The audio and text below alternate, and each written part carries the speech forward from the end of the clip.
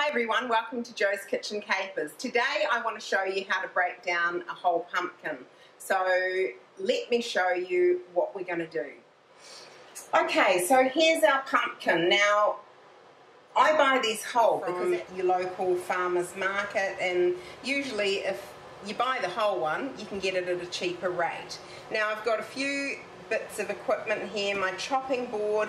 Make sure you've got a really stable, good chopping board. I've got a bowl to put our chopped pumpkin in. I've got a bowl for scraps, a, a really sharp knife, a dessert spoon, and I've got a damp cloth. I'm just going to show you, we're going to, I've dampened this, and I'm just going to fold it to around the shape of the board, and we're going to put it underneath. This stabilizes your board and stops it from slipping.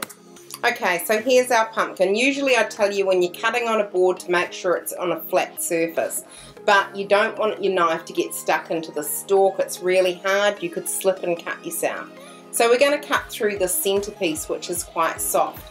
If you stabilize it with your hand, insert your knife and just cut it through. Then we're going to rotate it and do the same thing again. Insert the tip and cut it through. Look at the color of this. It's amazing. Pumpkin's so full of vitamins and minerals. Um, really good if you've got high cholesterol and it hasn't got many calories. So great if you're dieting. You can steam it, roast it, and you can see here i am cutting it now with that flat surface on the board, which is your safest way of doing it. Now using your dessert spoon, you can scrape all these seeds out.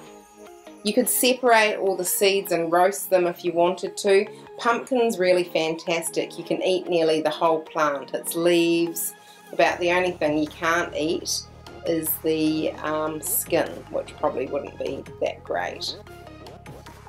So we're just going to cut all that through. Keep your board nice and clear so you're not going to slip or do any damage and just cut that down into pieces and take the skin off.